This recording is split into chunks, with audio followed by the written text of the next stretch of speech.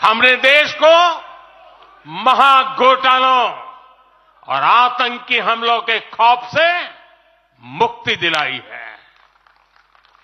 पूरा देश मानता है, हमने गरीब और मिडिल क्लास का जीवन बेहतर करने का प्रयास किया है। लेकिन जो लोग सोचते हैं कि बहुत हो गया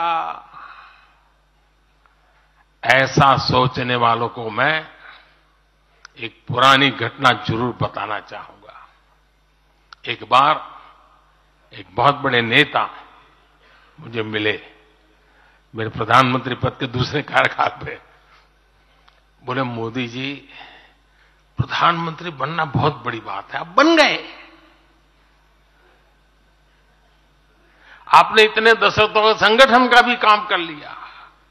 मुख्यमंत्री के रूप में भी इतना लंबा समय रह चुके प्रधानमंत्री में भी दोबारा आ गए సంతానలేమి సమస్యతో బాధపడుతున్నారా చింతించకండి సుమారు తొంభై వేల జంటలకు ఆనందం నింపింది ఓఎస్ఎస్ ఫర్టిలిటీ ఈ రోజే seven eight two five eight nine three six double zero కి కాల్ చేయండి సంతానోత్పత్తి చికిత్సపై భారీ డిస్కౌంట్లు పొందండి గుడ్ న్యూస్ చెప్పండి अब इतना काम क- क- पा लिया है अब तो थोड़ा बैठो आराम करो बहुत कर लिया ये उन्होंने मुझे कहा था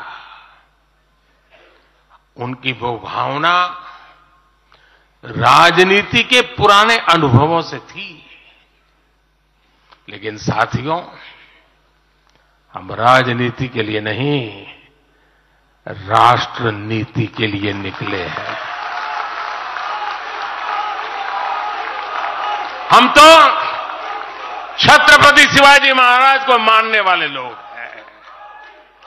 जब छत्रपति शिवाजी महाराज का राज्याभिषेक हुआ तो उन्होंने ये नहीं किया कि अब तो छत्रपति बन गए, सत्ता मिल गई तो चलो, उसका आनंद लो। उन्होंने अपना मिशन जारी रखा।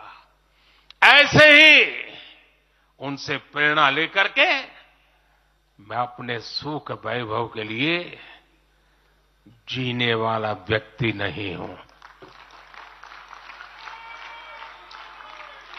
मैं बीजेपी सरकार का तीसरा टर्म सत्ता भोग के लिए नहीं मांग रहा हूँ। मैं राष्ट्र का संकल्प लेकर निकला हुआ व्यक्ति हूँ। अगर मैं अपने घर की ही चिंता करता तो आज करोड़ों गरीबों के घर नहीं बना पाता। मैं देश के करोड़ों बच्चों के भविष्य के लिए जीता हूँ, जागता हूँ, जूझता रहता हूँ।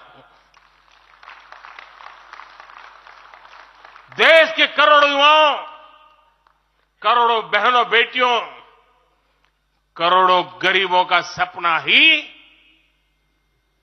मोदी का संकल्प है।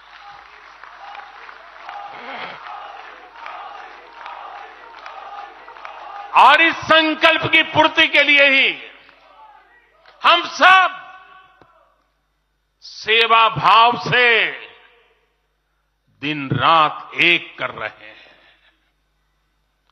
दस वर्षों में हमने जो हासिल किया, साथियों, वो तो एक पड़ाव मात्र है। मंजिल तक पहुँचने का एक नया विश्वास है।